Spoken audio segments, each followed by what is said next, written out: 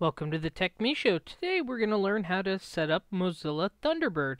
Uh, and we're just going to go basically real quick through it, how to install it. So, you have your window open now with this setup wizard.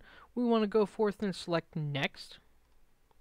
And now, I like to do things custom. Sometimes there's good options that I like to change. Uh, for one, it has the option here, default mail application. If you don't have anything like Outlook or Outlook Express you might be using, I highly recommend this. This way, if there's any website where it has an email, like the Mail to uh, hyperlink, this is a good choice.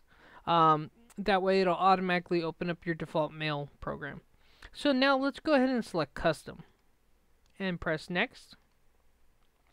This is the default uh, destination folder. This is absolutely fine. This is your default uh, destination, really, where uh, your programs are stored. And since it's not 64-bit, that's why you see the x86. So we'll go forth now and select Next. And here you can choose to have it on your desktop, in your start menu program folders, your quick launch. Me, I hate having icons on my desktop. So I'm going to leave it in the start menu programs folder and I'm going to leave a quick launch bar.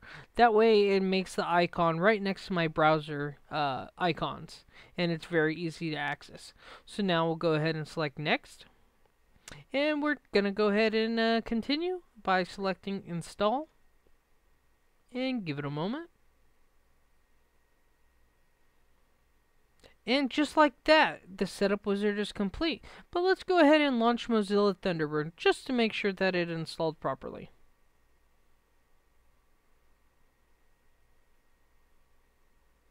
And there you are. Now you're in the mail account setup.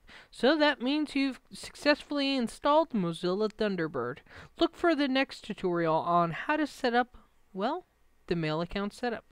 You can follow us on Twitter at TechMeShow. Additionally, we're on Google+. Thank you so much for watching the Tech Me Show, and have a nice day.